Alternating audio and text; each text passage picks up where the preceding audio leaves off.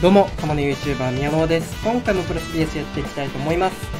はい、ということで、前回の動画から1週間弱経ちまして、なんとエナジーの数ご覧ください。865エナジー溜まりました。はい、前回ね、プロスペセクの第2弾を30連してね、えまあ、エナジーがなくなってしまって、たまればね、60連引きたいと思いますって言ってね、動画締めたと思うんですけど、まあ、ちゃんと750個以上溜まったので、今回は追加30連、えー、プロスペセクション60連引いていきたいと思います。でね、アップデートまで残り時間がないので、ちゃっちゃとね、引いていきたいと思います。ということで、行きましょう。欲しい選手の確認なんですけど、もう一度やっていきましょう。ロペス選手、欲しい。うん。で、あとは、こちらですね。秋山選手。うん、欲しいね。最後に、えーと、山田テスト。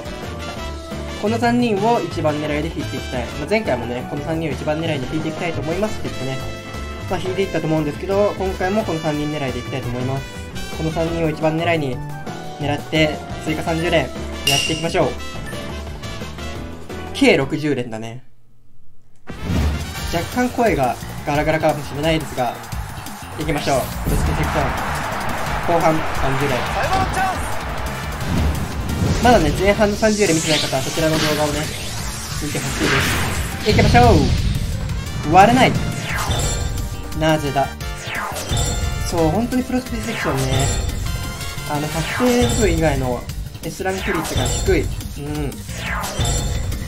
まあ、昨日はね、ベイスターズ、昨日選手がね、頑張って、ゼロで抑えて、カップリーで勝ちましたが、ガチャ結果は渋いと。うーん。今日ね、そう、あのー、山口選手が移籍後ね、初めてハマスタのマウンドに立ってね、まあ、東選手と先発で投げ合うんですが、非常に楽しみ。追加20連目いきましょう。S ランク来てくれよ、頼むから。マジで、演出がサヨナラのチャンスの一点張りが。頼むから、割れろおーい。どうなってんじゃ？ん。どうなっとんじゃ？頼むから。プロスキセレクションとは言わずね、とにかく S ランクをくれ。お願い。おなんでお、山川選手、いいね。からのなんで角中選手、おー、でも、A ランク実力者だね。うん。山川選手、やばいからね、本当に。ホームランの数。28ホームラン。うん、両リーグトップ。36だっけ ?36 か。28はそんな、まあ、バレンティン選手くらいか。36ホームランくらい打ってますよね。ってことで、泣いても笑ってもこれが最後の10連となります。追加合計60連ですね。ここはプロスペセレクション第1弾、あ、第2弾1人確定ございます。さあ、行きましょう。本当にね、頑張って貯めた300円の意外と止まったんだよね、そう。ここは確定何でもいいです。確定ってことは何でもいい。とりあえず1人は確定。お、なんか、ちょっと動作が軽いぞ。動作が軽い。これは期待できる。まあ前回ね、誰が当たったかは言いませんが、まあ僕のこのね、声のトーンを聞いてね、誰が当たったかっていうのは予想してもらえればなと思うんですが、ここでは外せない。今んとこ S ランクも来てない。お願いします。プロスペセクション合計60連。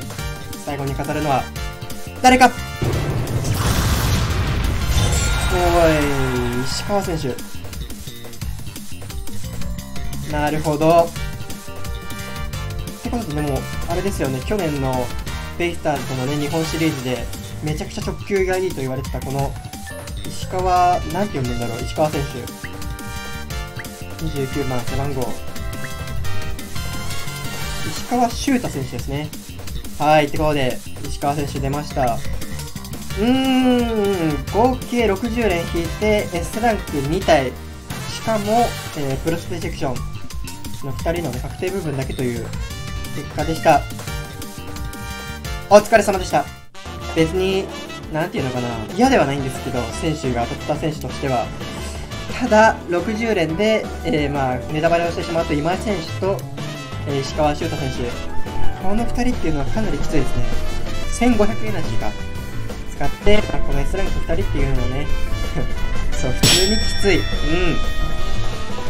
はい、そんな感じでね、えー、石川修太選手の能力確認していきましょう。えー、コストが26と、でスピリッツがもちろん2900、9位73の B、制球69の C、スタミナ70の B ということで、9位型っていうのはなかなか僕的には好きですね。はい。で、寸評を見ていきたい。あ、中継ぎもできるんですね。えー、寸評、1軍デビューとなった、えー、さっきは150キロを超える球で打者を圧倒。先発と中継ぎで8勝を挙げた。今季はローテ入りして2桁勝ちたいということで、うん、まあ、先ほども言いましたが、去年のね、日本シリーズ、ベイスターズ戦で、まあ、かなり直球がいいと言われてましたよね。うん。てか見てて、早っと思いました。うん、球が。まあ、ソフトバンクただでさえね、先発陣、いい選手揃ってる中で石川選手というね、まあ、期待の選手が出てきたのは素晴らしいなと思います。うん、まあ、今後に期待ですね。はい。そんな感じで、えー、プロスペシャルション後半30年は、石川修太選手のみというでございました。まあ、今回コメント欄も見ててね、あのー、まあ、2250エナジー使って、なんか S ランク3人でしたとかも、まあ、なんかそういうコメントもあったんで、なかなかね、まあ、いい選手は来てるんですけど、ガチ結果は良くないという、まあ、コメントもちらほら見かけたんでね、うん、まあ、なかなか渋いガチャだったのではないかなと思います。はい。まあ、運がいい方はね、一発で山田選手出ましたとかいう方もいたと思うんですけど、まあ、これはちょっと、僕は今回運はなかったかなという感じでございます。はい。シリーズ2に向けてエナジー貯めていけたらなと思います。えー、そんな感じで、この辺でこの動画終わりにしたいと思います。えー、最後までご視聴いただきありがとうございました。それでは、次はプロスキースまた他の実況でお会いいたしましょう。じゃあねバイバイこれはアニバーサリーに来た